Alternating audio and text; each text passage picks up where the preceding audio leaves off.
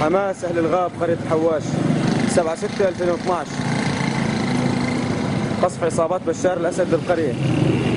الله أكبر. مجازر للطامنة طامنة وقصف في قرية الحواش الله أكبر عليك يا بشار.